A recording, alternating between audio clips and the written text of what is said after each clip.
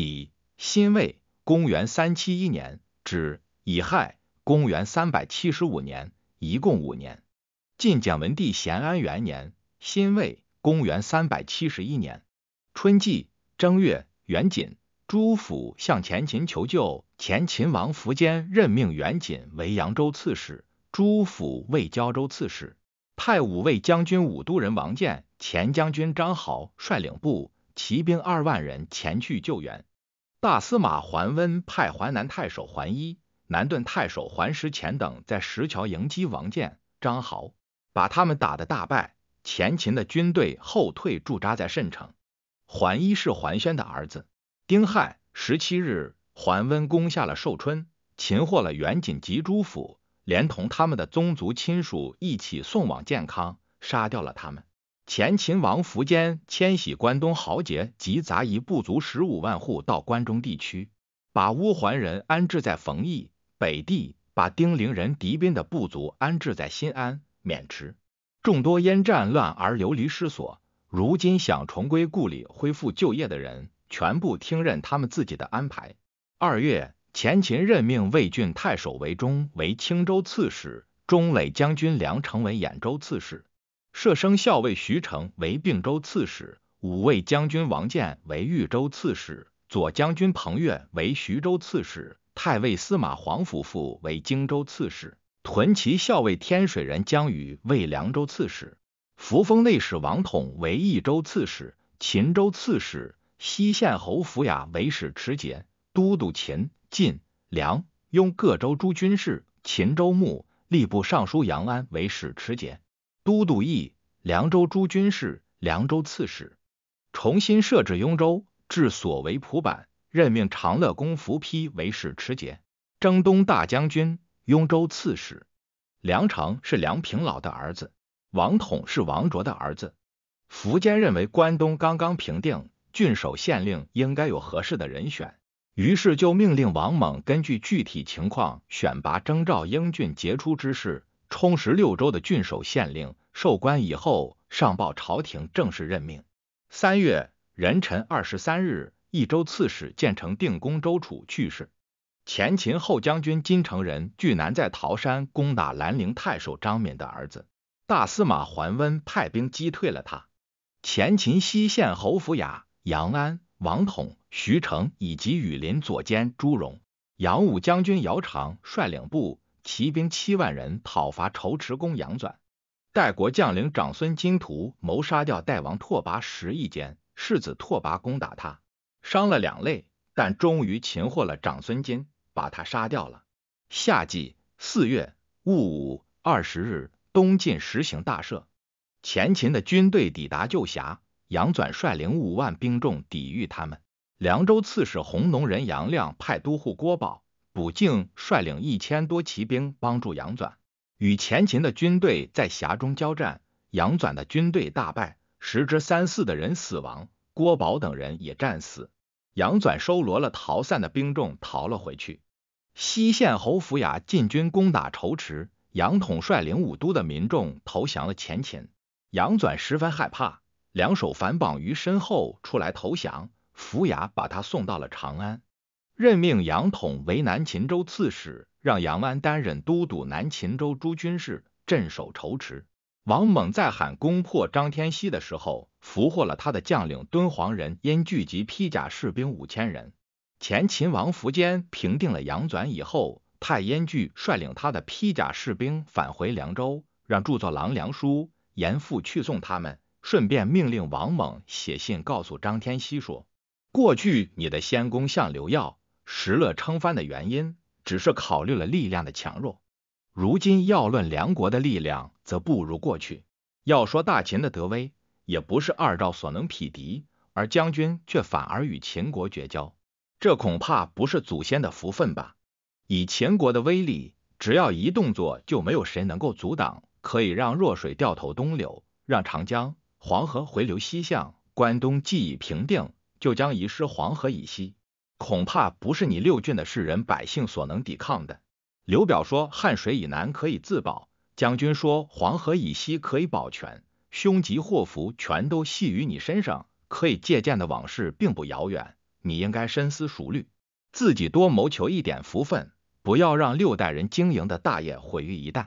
张天锡十分害怕，派使者向前秦谢罪称藩。苻坚授予张天锡使持节、都督何有诸军事、骠骑大将军、开府仪同三司、凉州刺史、西平公。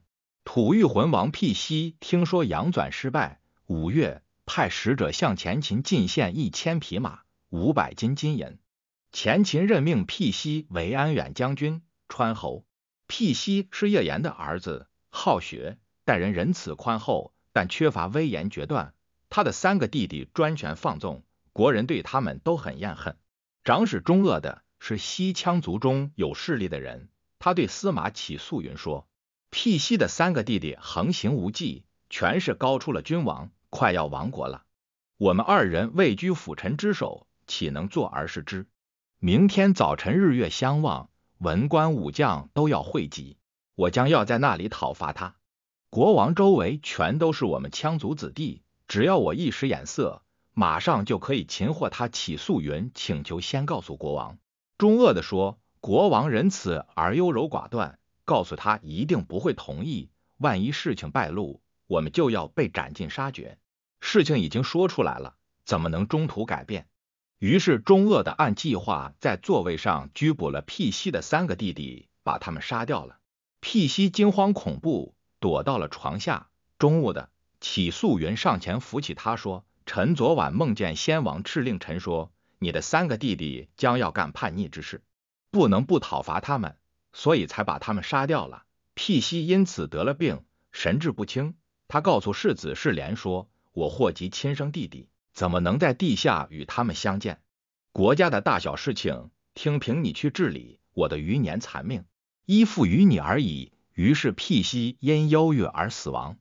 世廉既立，七年拒绝饮酒游猎，军队国家的事务全都委托给将领辅臣们处理。中恶的劝他，认为人主应当自己欢于行乐，建立威势，传播道德。世廉哭泣着说：“我家从祖上以来，以仁孝忠恕相承续。先王念及有善仁爱，没有贯彻到底，悲愤而死。我虽然继承王位。”不过是空占着位置而已，岂敢安于声色娱乐？威势和道德的建立，只好交给后人吧。代国的世子拓跋因伤势恶化而死亡。秋季七月，前秦王苻坚到洛阳，代国世子拓跋娶东部大人贺野干的女儿为妻。他死时，妻子怀有身孕，甲戌初期生下一个儿子。代王拓跋十亿间为此在境内实行大赦。给他起名叫赦归。大司马桓温考虑到凉州、益州多有寇贼，周氏则世代都有显赫的名声。八月，任命宁州刺史周仲孙兼益凉二州诸军事，兼任益州刺史。周仲孙是周光的儿子。前秦任命光禄勋李衍为河州刺史，镇守吴使。王猛依据洛川的战功，请求任命邓羌为司隶校尉。前秦王苻坚下达诏令说，司隶校尉负责督察京城周围的地区，职责重大，不能用来优待名将。汉光武帝不以政务官职赏赐功臣，实际上是更看重他们。邓羌有廉颇、李牧那样的才能，朕准备将征伐的事情交给他，在北方平定匈奴，在南方扫除杨越，这才是邓羌的重任。私立校尉怎么值得交给他呢？晋升他的封号为镇军将军，次位特进。九月，前秦王苻坚返回长安，归安元侯李衍在上去世，苻坚又任命李衍的儿子李昪为河州刺史。冬季十月，前秦王苻坚到邺城，在西山打猎，竟人十多天，还流连忘返。乐官王洛勒驻马劝谏说：“陛下为百姓所依托，如今久猎不归，一旦出现不测之患。”让太后，天下人怎么办呢？苻坚因此停止打猎，回到了王宫。王猛接着进言说：“打猎确实不是当务之急。王洛的话不可忘记。”苻坚赏赐王洛一百匹帛，授官真左右，从此就不再打猎了。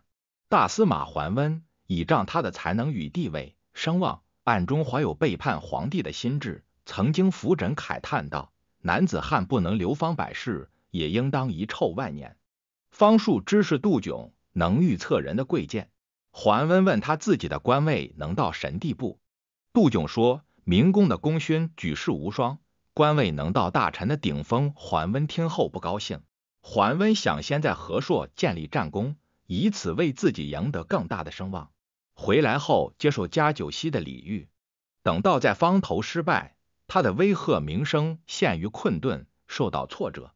攻克寿春以后，桓温对参军西超说。这足以雪方头的耻辱了吧？西超说没有。过了许久，西超到桓温的住所留宿，半夜时分对桓温说：“明公在这里没有考虑什么吗？”桓温说：“你想有话对我说吗？”西超说：“明公承担着天下的重任，如今已六十高龄，却在一次大规模的行动中失败。如果不建立非常的功勋，就不足以振服满足百姓的愿望。”桓温说：“那么该怎么办呢？”西超说：“明公不干伊尹放逐太甲，霍光废除昌邑王那样的事情，就无法建立大的威势与权力，镇压四海。”桓温历来怀有此心，对西超所说的深以为然，于是就和他商定计议。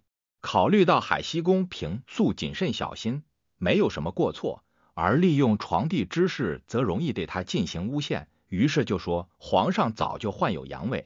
宠臣向龙、季好、朱灵宝等参与服侍起居床帝之事，与田氏、孟氏两位美人生下了三个儿子，将要设立太子赐封王位，转移皇上的基业，并将这话秘密的传播到民间。当时的人们都无法辨别真假。十一月癸卯初九，桓温准备从广陵返回姑熟，驻扎在白石。丁未十三日抵达建康。含蓄的劝说楚太后，请求废黜废帝司马懿，立丞相会稽王司马昱，同时还草拟了诏令进城给楚太后。太后正在佛事烧香，内侍报告说外边有紧急奏章。楚太后出来，倚着门看奏章，刚看了几行字，就说：“我自己本来就怀疑是这样。”看了一半就停下来了，向内侍要来笔，加上了这样的话：“我不幸遭受了这样的种种忧患。”想到死去的和活着的，心如刀绞。即有十五日，桓温把百官召集到朝堂。废立皇帝既然是历代所没有过的事情，所以没有人知道过去的典则，百官们都震惊恐惧。桓温也神色紧张，不知该怎么办。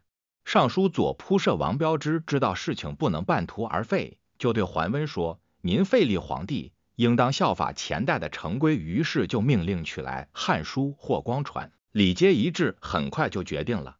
王彪之身穿朝服，面对朝廷，神情沉着，毫无惧色。文武仪规典则，全都由他决定。朝廷百官因此而服了他，于是就宣布太后的诏令，废黜废帝司马懿为东海王，以丞相、录尚书事、会稽王司马昱继承皇位。百官进入太极前殿，桓温让都护烛瑶、散骑侍郎刘亨收取了废帝的印玺绶带。司马懿戴着白色便帽，身穿大臣的仅次于朝服的盛装，走下西堂，乘着牛车出了神虎门，群臣叩拜辞别，没有谁不哽咽。侍御史殿中间带领一百多名卫兵，把他护送到东海王的宅地。桓温率领百官准备好皇帝的车乘。到会稽王的官邸去迎接会稽王司马昱。会稽王在朝堂更换了服装，戴着平顶的头巾，穿着单衣，面朝东方流涕，叩拜接受了印玺绶带。这天，会稽王司马昱即皇帝位，改年号为咸安。桓温临时住在中堂，分派兵力屯驻守卫。桓温的脚有毛病，简文帝诏令可以让他乘车进入殿堂。桓温事先准备好词章，想陈述他处废司马懿的本意。简文帝引荐，一见他便流下了眼泪。但桓温战战兢兢，始终没能说出一句话。太宰武灵王司马喜好习武练兵，被桓温所记恨，想废除他，就把此事告诉了王彪之。王彪之说，武灵王是皇室的亲族尊者，没有明显的罪过，不能因为猜忌随便废除他。您要建立贤明的君主，应当尊崇辅佐王室，与伊尹、周公具有同样的美德。这件大事应该再仔细考虑。桓温说：“这已经是我决定了的事情，你不要再说了。”乙卯二十一日，桓温进上表彰司马收罗招纳轻浮之事，儿子司马宗自负残忍，元贞叛逆，事情与他有牵连。近来他猜疑恐惧将会成为祸乱的缘由，请求免除司马的官职，让他以王的身份返回藩地。简文帝同意了，同时还免除了司马的世子司马宗。梁王司马等人的官职，桓温让魏郡太守毛安之率领所统领的军队宿卫皇宫。毛安之是毛虎生的弟弟。庚戌十六日，尊奉楚太后为崇德太后。当初殷浩去世的时候，大司马桓温派人送信吊唁他。殷浩的儿子殷娟没有答复，也没有到桓温那里去，而是与武陵王司马游玩。广州刺史庚宇运。是禹锡的弟弟，一直和桓温有隔阂。桓温厌恨殷娟、禹运宗族的强大，想要灭掉他们。辛亥十七日，桓温派他的弟弟桓密逼迫新蔡王司马晃到西堂去叩头自述，称与司马及他的儿子司马宗、著作郎殷娟、太宰长史宇倩、愿曹秀、舍人刘强、散骑常侍宇柔等阴谋反叛。简文帝面对他流下了眼泪。桓温把他们全都抓起来送交廷尉。宇倩、宇柔都是宇运的弟弟。癸丑十九日，桓温杀掉了东海王司马懿的三个儿子和他们的母亲。甲寅二十日，御史中丞乔王司马田秉承桓温的旨意，请求依据法律。简文帝下达诏令说：悲痛惋惜，惊恐不安，不忍心耳闻，何况是诉说呢？再仔细商议吧。司马田是司马的孙子。乙卯二十一日，桓温再次进上表彰，坚持请求杀掉司马，言辞非常激烈恳切。简文帝于是就亲手写下诏令，赐予桓温说：如果晋王朝的神灵悠长，你就不必请示，遵奉执行以前的诏令；如果晋王朝的大运已去，我就请求避让贤人晋升之路。桓温看了以后，惊慌失色，汗流满面。于是就奏请处废司马及他的三个儿子，将其家人全都迁徙到新安郡。丙辰二十二日，处免新蔡王司马晃为庶人，将他迁徙到衡阳。殷娟、宇倩、曹秀、刘强、宇柔全都被满门诛杀，宇运服毒而死。宇运的哥哥东阳太守宇友的儿媳是桓豁的女儿，所以桓温特别的赦免了他。禹锡听说了这桩灾难。与弟弟会稽参军于淼及儿子与幽之逃到了海陵的胡泽中。桓温诛杀了殷、于等人以后，威势显赫至极。侍中谢安看见桓温在很远的地方，就开始叩拜。桓温吃惊地说：“谢安，你为什么要这样呢？”谢安说：“没有君主叩拜于前，臣下拱手还礼于后的物物。”二十四日，东晋实行大赦，为文武官员增加品位二等。己未二十五日，桓温到白石上书请求返归姑蜀。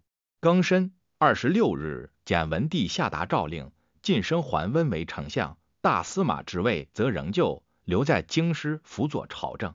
桓温固执的辞让，还请求回到镇所。辛酉二十七日，桓温从白石返回姑蜀。前秦王苻坚听说了桓温废立皇帝的事情，对群臣们说。桓温先在霸上失败，后又在方头失败，不能反思过错，自我贬责以向百姓谢罪，反而还废黜君主以自我解说。六十岁的老叟举动如此，将怎样自容于天下呢？民谚曰：“对妻子愤怒，就像父亲耍脸色。”大概说的就是桓温吧。前秦车骑大将军王猛考虑到都督六州的责任重大，向前秦王苻坚进言。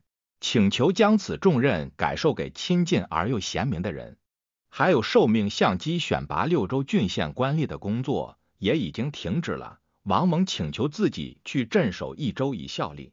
苻坚回复王猛说：“朕和你的关系，从道义上讲是君臣，从亲情上讲则胜过骨肉。虽然这又像齐桓公、燕昭王拥有管仲、乐毅，刘备拥有孔明，但我认为要超过他们。”人主寻求有才能的人时，辛劳费力，得到人才就省力放心了。既然把六州委托给你，那么朕就解除了东顾之忧，不是以此来对你表示优待尊崇，而是朕自己寻求萧县安逸。打江山不易，坐江山也难。假如任非其人，祸患出现于我们预料之外，岂止仅是朕的忧患，也是你的责任。所以宁肯让三公的职位空虚，也要首先分职闪动。你不了解朕的心愿，有违朕本来的期望。刚刚建立的政权急需人才，应该尽快选拔充实官吏。等到东方教化融洽以后，理当让你身着上宫礼服西返。苻坚于是派使忠良党到邺城去传达诏令，王猛也就像从前一样的处理政事。十二月。大司马桓温上奏章说，废黜放逐之人，应该把他平弃到遥远的地方，不能让他接近黎民百姓。对东海王司马懿，应该按照过去废黜昌邑王的办法，让他到吴郡居住。太后下达诏令说，让东海王成为庶人，于心不忍，可以特别的封他魏王。桓温又上奏章说，可以封他为海西县侯。庚寅二十六日，封司马懿为海西县公。桓温威震朝廷内外，简文帝虽然身处至尊地位，实际上也仅仅是拱手沉默而已，常常害怕被废黜。此前，火星居于太微、南藩之间，过了一个月，司马懿就被废黜。辛卯二十七日，火星逆行进入太微星探，简文帝对此很讨厌。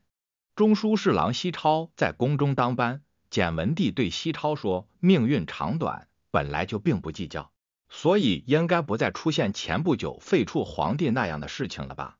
西超说，大司马陈桓温正在对内稳定国家，对外开拓江山，我愿用百余家口来保他，不会发生那种不正常的事变。等到西超急于要请假回去看望他父亲时，简文帝说，告诉尊父，宗族国家之事最终到了这种地步，是因为我不能用道德去匡正守卫的缘故。惭愧慨叹之深，怎么能用语言来表达？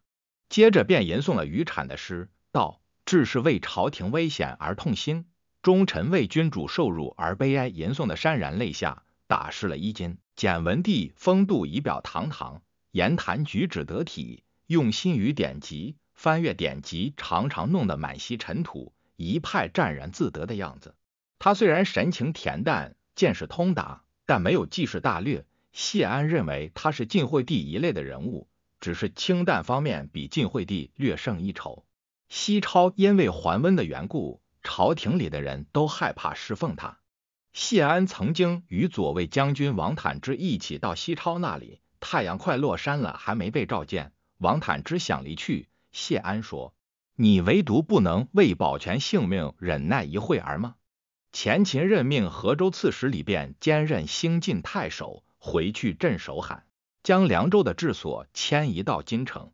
张天锡听说前秦有兼并他的想法，十分害怕，便在孤臧城西设立祭坛，杀了牛、羊、猪三牲，率领他的官属们遥望东晋，与东晋的三公致意起事结盟。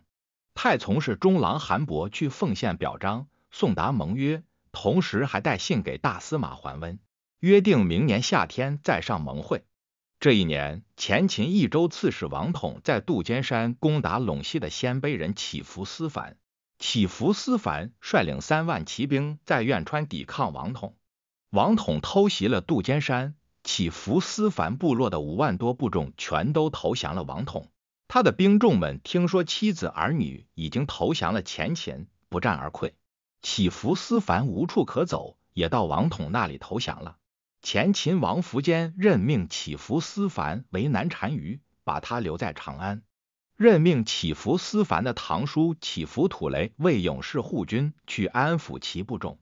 咸安二年壬申，公元三百七十二年春季二月，前秦任命清河人房况为尚书左丞，征召房况的哥哥房默以及清河人崔成、燕国人韩印为上北郎，北平人杨志、田协。杨尧为著作左郎，郝略为清河乡。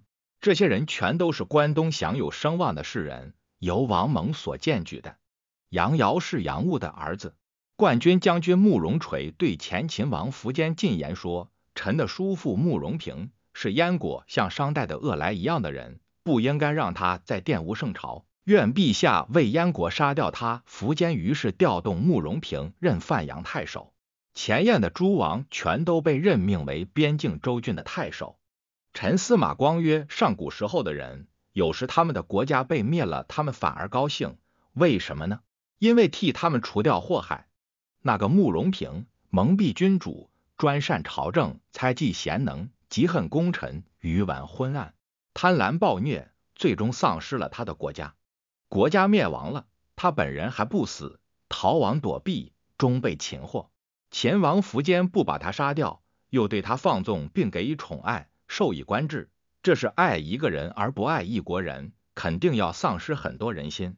所以对人施以恩惠，而人们并不以恩相报；对人待以诚意，而人们并不以诚相报，最终导致功名不成，无处容身。这是由于不得要领的缘故。三月戊午二十五日。东晋朝廷派侍中王坦之征召大司马桓温入朝辅政，桓温又一次推辞了。前秦王苻坚下达诏令说，关东的百姓有学问，能够精通易经，才能具有一技之长的人，所在州县应按礼仪把他们送到官府，享受百十以上俸禄的官吏；学问不能精通易经，才能没有一技之长的，罢官遣送，恢复普通百姓的身份。夏季四月。将海西公司马邑迁徙到吴县的西柴里，敕令吴国内史刁仪负责防卫，又派御史顾允前去监察。刁仪是刁协的儿子。六月癸酉十二日，前秦任命王猛为丞相、中书监、尚书令、太子太傅、司隶校尉。其特进、常侍、持节、将军、侯爵则仍旧保留。任命阳平公芙蓉为使持节。都督六州诸军事，镇东大将军，冀州牧。禹锡、禹邈与过去的青州刺史吴审的儿子武尊聚集兵众，趁夜进入京口城。晋陵太守卞丹翻越出城，逃奔到曲河。禹锡诈称接受了海西公的秘密指令，诛杀大司马桓温。建康城里震惊混乱，内外都严加戒备。卞丹派出各县的兵众二千人攻击更西，禹锡失败。紧闭城门，自我固守。桓温派东海内史周少孙讨伐更西。秋季七月壬辰初一，攻下了京口城，擒获了禹锡、禹邈以及他们的亲信同党，把他们全都杀掉了。卞丹是卞的儿子。甲寅二十三日，简文帝身体不适，紧急征召大司马桓温入朝辅政。一天一夜接连发出四道诏令，桓温推辞不来。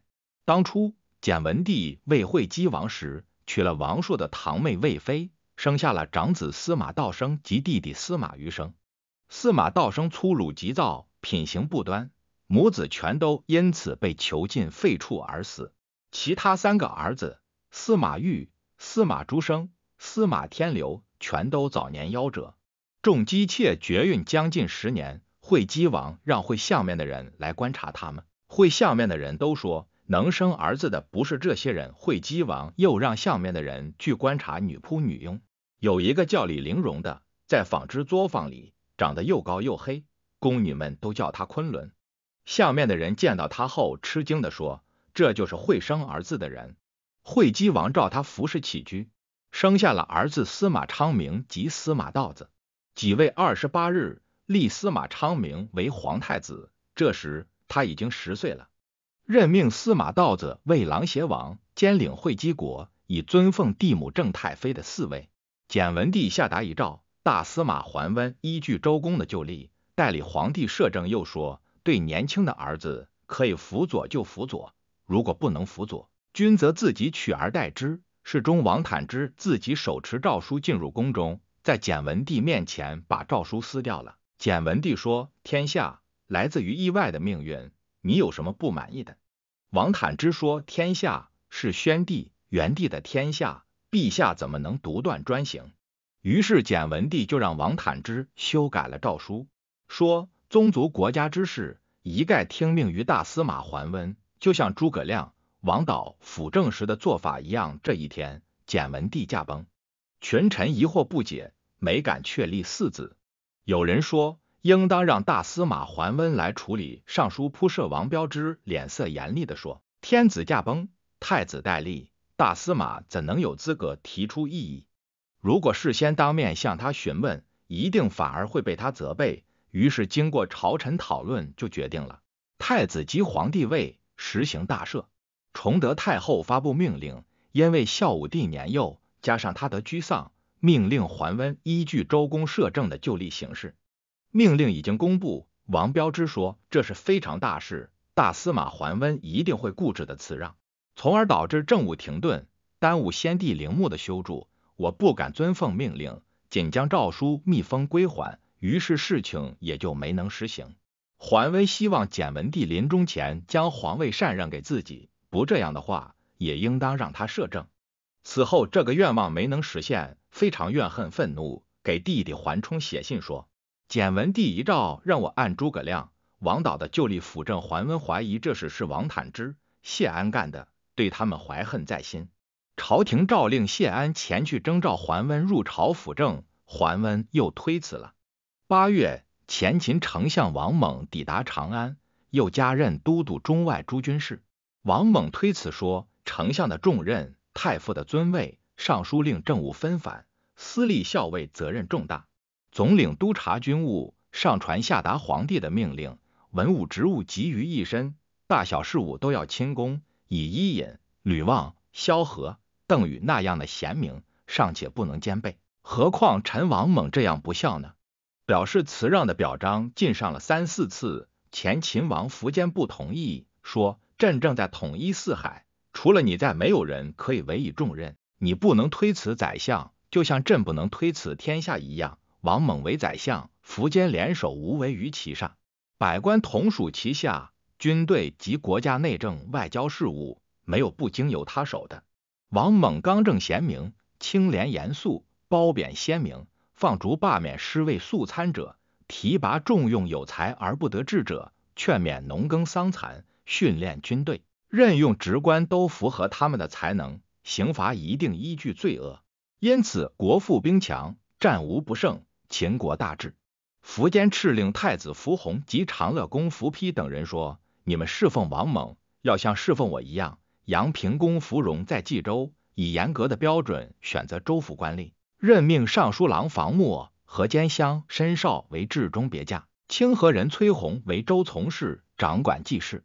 芙蓉年轻，为政喜好新奇，推崇以苛刻繁琐的方式体现精明。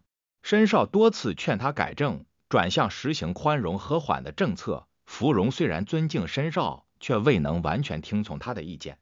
后来申少调任济北太守，芙蓉屡屡因为犯有过错而失去声望，多次导致被谴责，这才自己悔恨，没有听从申少的话。芙蓉曾经因为擅自建造学社而被官府纠合，他派主簿李纂到长安去陈述理由。李纂担心害怕，半路上就死了。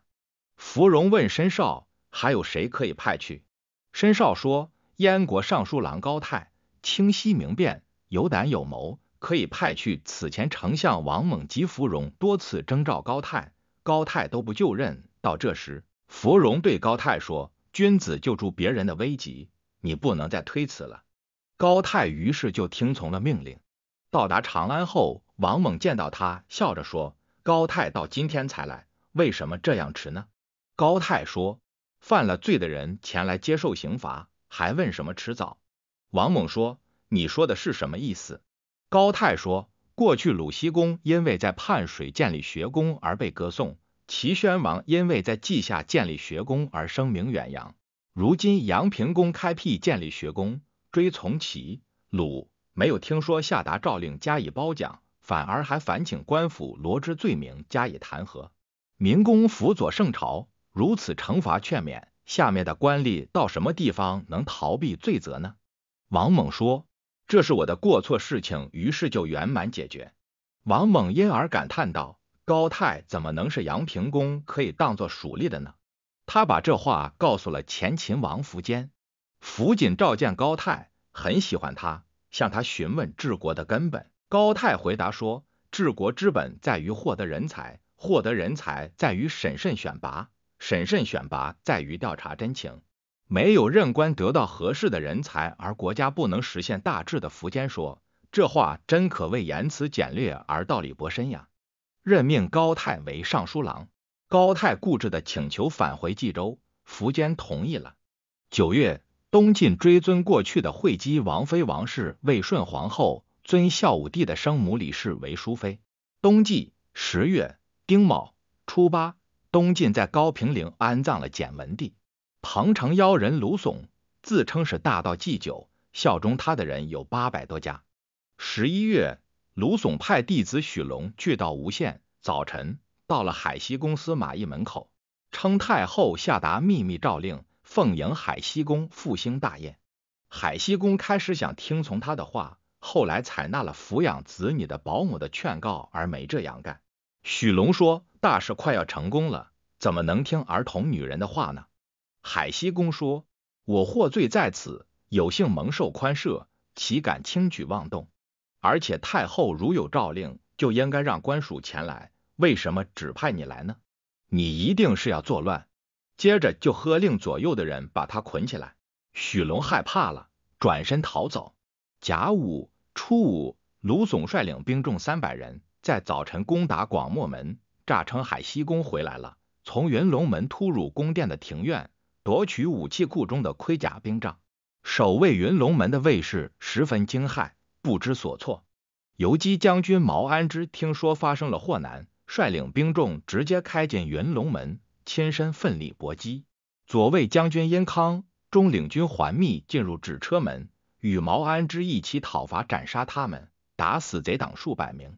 海西公深深的担心横祸发生，专事饮酒，恣意音乐美色。有儿子也不养育，当时的人都很怜悯他。朝廷知道他安于屈辱，所以对他也就不再防备了。前秦都督北藩诸军事、镇北大将军、开府仪同三司、朔方桓侯梁平老去世。梁平老镇守朔方十多年，鲜卑、匈奴人对他既怕又爱。三吴地区发生大旱，许多人都饿死了。列宗孝武皇帝上之上。晋孝武帝宁康元年癸酉，公元三百七十三年春季正月己卯朔初一，东晋实行大赦，改换年号为宁康。二月，大司马桓温来觐见孝武帝。辛巳二十四日，孝武帝诏令吏部尚书谢安、侍中王坦之到新亭迎接。这时，都城里人心浮动，有人说桓温要杀掉王坦之、谢安。接着晋王室的天下就要转落他人之手，王坦之非常害怕，谢安则神色不变，说晋朝国运的存亡取决于此行桓温抵达朝廷以后，百官夹道叩拜。桓温部署重兵守卫，接待会见朝廷百官，有地位名望的人全都惊慌失色。王坦之汗流浃背，连手板都拿倒了。谢安从容就坐，坐定以后对桓温说。谢安听说诸侯有道，守卫在四邻，民工哪里用得着在墙壁后面安置人呀？桓温笑着说：“正是由于不能不这样做，于是就命令左右的人让他们撤走，与谢安笑谈良久。”西超经常作为桓温的主谋，谢安和王坦之去见桓温，桓温让西超藏在帐子中听他们谈话。风吹开了帐子，谢安笑着说：“西超可谓入帐之宾。”当时天子年幼力弱，外边又有强臣，谢安与王坦之竭尽忠诚，辅佐护卫，最终使晋王室得以安稳。桓温处理卢耸攻入宫廷的事件，拘捕了尚书陆氏，并送交廷尉处置，罢免了桓密的官职，株连作罪的人很多，提升毛安之为左卫将军。桓密从此开始怨恨桓温。三月，桓温生病，在健康停留了十四天。甲午初七返回姑熟。夏季，代王拓跋十亿间让燕凤去向前秦进献供奉。秋季七月己亥十四日，南郡宣武公桓温去世。当初桓温病重的时候，暗示朝廷给他一家酒席的礼遇，多次派人去催促。谢安、王元之故意拖延此事，让袁弘草拟诏令。袁弘草拟完以后，让王彪之审阅。王彪之赞叹他文辞的优美，接着说：你本来是杰出的人才，怎么能写这样的文章让别人看呢？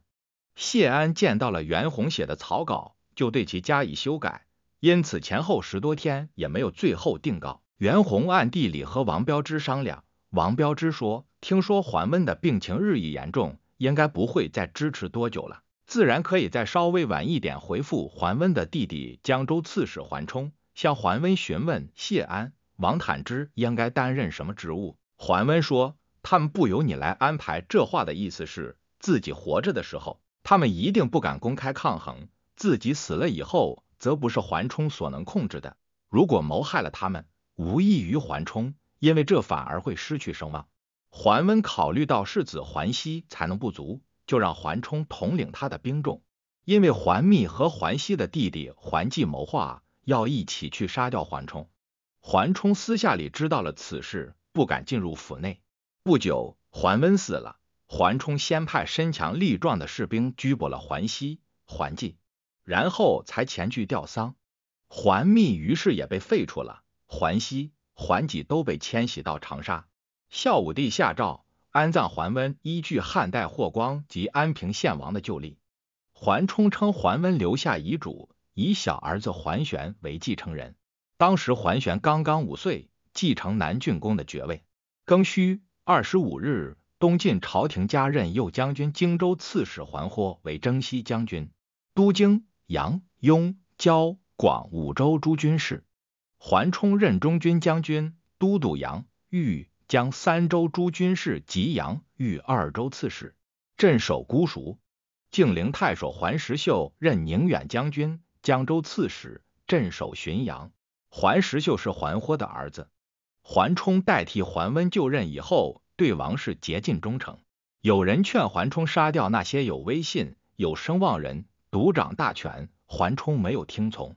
当初桓温在任时，对人处以死罪，全都是擅自决定，不请示朝廷批准。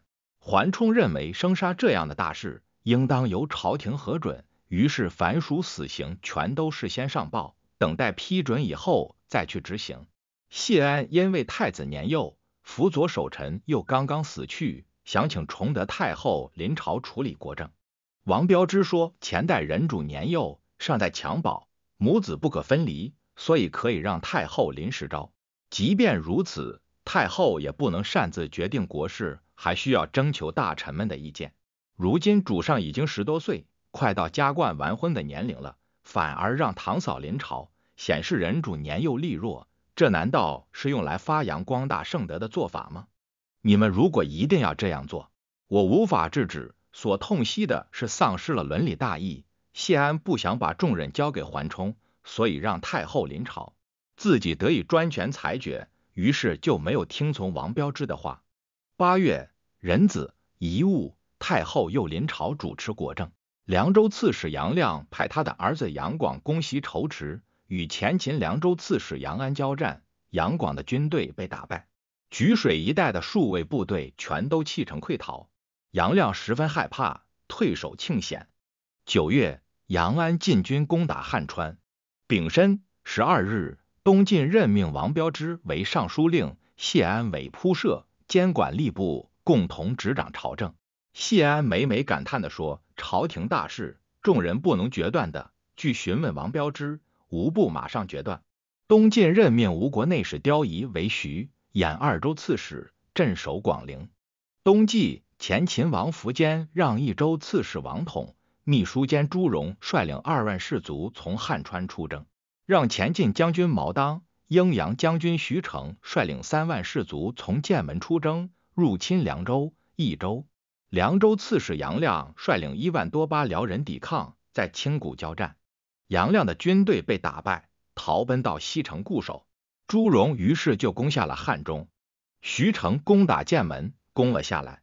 杨安进军攻打梓潼，梓潼太守周固守涪城，派部骑兵数千人护送母亲、妻子自汉水去江陵。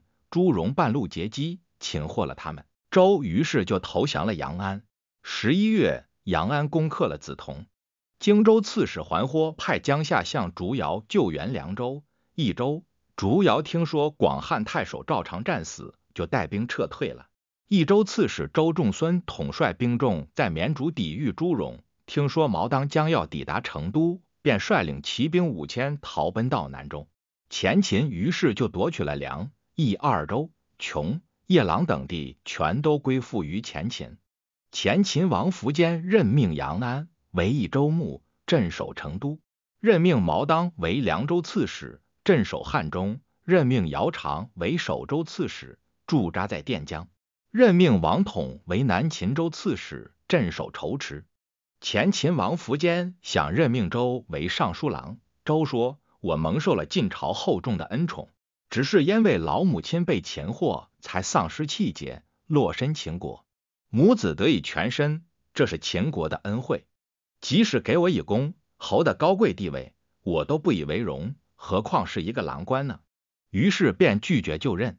每次见到苻坚，周有时就叉开腿傲慢的一坐，喊苻坚为低贼。有一次正当正月初一的朝会，仪仗隆重，卫士众多。苻坚问周说：“晋朝正月初一的朝会，与此相比怎么样？”周捋起袖子，厉言正色地说：“全阳相聚，怎么敢和天朝相比？”前秦人因为周不恭顺，多次请求把他杀掉，而苻坚却对待他更加优厚。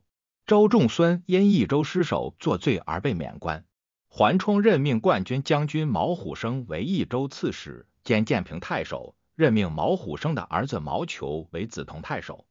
毛虎生与毛球讨伐前秦，已经到达了巴西。因为粮食缺乏，退到巴东驻扎。东晋任命王坦之为中书令，兼任丹阳尹。这一年，鲜卑人伯罕攻略陇右，前秦王苻坚派乞伏思凡讨伐他，伯罕请求投降，于是让乞伏思反镇守永世川。有彗星出现在尾宿、基宿之间，长达十多丈，经过太微星源，扫掠东景星宿。从四月开始出现。到秋冬还未消失。前秦太史令张孟对前秦王苻坚进言说：“尾宿、姬宿是燕国的分野，东景是秦国的分野。如今彗星出现于尾宿、姬宿而扫掠东景，十年以后，燕国要灭掉秦国；二十年后，代国要灭掉燕国。慕容的父子兄弟是我们的仇敌，然而却布满了朝廷，尊贵显赫，无人可比。”臣私下里为此担忧，应该杀掉他们的首领，以消除上天的灾变。苻坚没听从。阳平公芙蓉上书说，东胡人占据的领土横跨六州，面南称帝，陛下兴师动众多年，然后才制服了他们。他们本来就不是倾慕道义才来的，如今陛下亲近他们，又加倍宠幸，让他们父子兄弟林立于朝廷，掌握权力，行使职责，威势超过了功勋旧臣。我愚昧的认为，虎狼之心终究不能畜养，星象如此变化，希望陛下稍加注意。苻坚回复说：“朕正要统一天下魏一家，把夷狄当赤子看待。你应该忘掉忧虑，不要心怀不安。只有修治德性，才可以消除灾祸。假如能完善自己，还怕什么外患呢？”宁康二年甲戌，公元三百七十四年春季正月，癸未朔。初一，东晋实行大赦，即有二十七日，刁仪去世。二月癸丑初一，任命王坦之为都督徐、兖、青三州诸军事及徐、兖二州刺史，镇守广陵。诏令谢安总领中书执事。谢安喜爱音乐，就算是在悲痛的扶丧期间，丝竹器乐也未曾停止。士大夫们全都效仿他，以至于成为了一种时尚。王坦之多次写信恳切的劝谏他，说礼仪法度是天下之宝，应当为天下而爱惜它。谢安没能听从劝告。三月，前秦太尉建宁列公李威去世。夏季五月，蜀人张玉、杨光起兵攻打前秦，拥有兵众二万人，派使者来东晋请求援军。前秦王苻坚派镇军将军邓羌率领五万披甲士兵讨伐他们。益州刺史烛瑶、威远将军桓石虔率领三万兵众攻打垫江，姚长的军队被打败，退到武城筑城。烛瑶、桓石虔驻扎在巴东。张玉自称蜀王，与巴辽酋长张崇、尹万的一万多人进军包围了成都。六月，张玉改年号为黑龙。秋季七月，张玉与张崇等人争夺权力，起兵相攻。前秦杨安、邓羌攻袭张玉，打败了他。张玉与杨光退守绵竹。八月，邓羌在伏羲打败了东晋的军队。九月，杨安在成都以南打败了张仲、尹万，张仲战死。士兵被斩首的有二万三千人，邓羌在绵竹攻打张玉、杨光，全都斩杀了他们。益州又归前秦所有。冬季十二月，有人进入前秦的明光殿，大喊道：“甲申已有之年，渔阳吃人，悲惨啊！没有人活着剩下来。渔阳何为先字？暗指鲜卑人。前秦王苻坚命令抓住此人，但没有抓获。秘书监朱荣。”秘书侍郎略阳人赵整坚持请求诛杀鲜卑人，苻坚没有听从。赵整是宦官，博闻强记，善于写文章，喜欢直言，上书以及当面劝谏，前后有五十多次。慕容垂的夫人深得苻坚的宠幸，苻坚和他同乘一车在后庭游玩。赵整作歌唱道：“不见却来入宴室，但见浮云蔽白日。”苻坚听到后脸色一变，向赵整道歉。同时命令这位妇人下车。这一年，代王拓跋十亿间攻打刘卫臣，向南逃走。宁康三年（公元三百七十五年）春季正月辛亥初五，东晋实行大赦。夏季五月丙午初二，蓝田县侯王坦之去世。临终前给谢安、桓冲写信，只是对国家的事情表示忧虑，没有谈及个人的事情。桓冲考虑到谢安历来身负众望，想把扬州让给他，自己则请求到外地任职。桓氏家庭的人都认为这不是好办法，全都扼腕痛惜，苦苦劝谏。西超也竭力劝阻他，桓冲全都不予听从，恬静的对待此事。贾言初时，朝廷下达诏令，任命桓冲为都督徐、豫、兖、青、扬五州诸军事及徐州刺史，镇守京口。任命谢安兼扬州刺史，全都加任侍中。六月，前秦清河武侯王猛患病卧床不起，前秦王苻坚亲自为他道南、北郊以及宗庙，设祭坛祈求神灵，并分派侍卫大臣前往黄河、华岳遍祭诸神。王猛的病情稍有好转，苻坚又为此而对判死刑以下的罪犯实行赦免。王猛上书说：“没想到陛下因为臣的性命而损害了天地之德，这是开天辟地以来没有过的事情。臣听说回报恩德，没有什么能比得上尽情直言。今以我行将完结的生命，私下里向陛下进献剩下的一点忠诚。臣想到陛下威德功业震动八方以外，声望教化照耀天地之中，九州百郡时有其妻，平定燕蜀，有如腐蚀小草。”善于开创的人不一定善于完成，善于起始的人不一定善于结束。所以，古代的圣哲帝王知道建功立业的不易，都是战战兢兢，如临深渊。臣盼望陛下能够追随前代的圣哲帝王，这是天下的大幸。苻坚看了王猛的上书，十分悲痛。秋季七月，苻坚亲自到王猛的宅地查看他的病情，并向他询问后事。王猛说。晋朝虽然偏居长江以南，但他们是正宗乡颜，上下安定和睦。臣死了以后，愿不要把晋朝作为图谋的对象。鲜卑、西羌是我们的仇敌，最终也要成为我们的祸患，应该逐渐消灭他们，以使江山安定。说完这话，王猛就死了。苻坚亲自参与装殓王猛，三次前往痛哭，并对太子苻弘说：“上天不想让我统一天下吗？”为什么这么快就夺走了我的王猛呢？依照汉代霍光的旧例，安葬了王猛。八月癸巳二十日，东晋立王氏为皇后，实行大赦。王皇后是王的孙女，任命王皇后的父亲晋陵太守王运为光禄大夫兼武兵尚书，封为建昌侯。王运坚决辞让，不接受任命。九月，东晋孝武帝讲习《孝经》，开始阅览典籍。邀请如是。谢安荐举东莞人徐邈补中书舍人，他经常接受孝武帝的询问，匡正补益颇多。孝武帝有时宴集群臣，酣饮歌乐之后，喜欢随手写些诗章赐给侍臣。有的诗章文辞草率，内容污杂，徐邈按时把这些诗章搜集起来，带回中书省加以修改，使他们全都适宜观览。经过孝武帝重新审阅，然后再传播出去。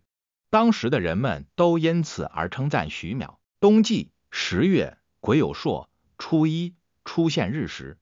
前秦王苻坚下达诏令说，刚刚丧失了贤明的辅佐，百官当中有的不称朕的心愿，可以在未央宫以南设置听理诉讼的台官，朕五天亲临一次，以访求隐没在民间的人才。如今天下虽然还没有完全平定，但暂且可以停息武备，修明文教。以实现王猛高雅的旨趣，应该进一步尊崇儒家学说，禁止老子、庄子及宣扬服命战宴的学说。有犯者斩首示众，适宜的选择生源。太子以及公侯百官的子弟全都就学授业。朝廷内外的四进、二位、四军中长期宿卫的将士，全都命令他们参加学习。每二十人配备一名经生，负责教授诵读音句。在后宫设置学官，用来教授妃嫔，选择宦官以及女仆中的聪慧敏捷者，到博士那里去学习经书。尚书郎王佩阅读宣扬谶纬服命的书籍，苻坚把他杀掉了。从此，学习谶纬的人也就绝迹了。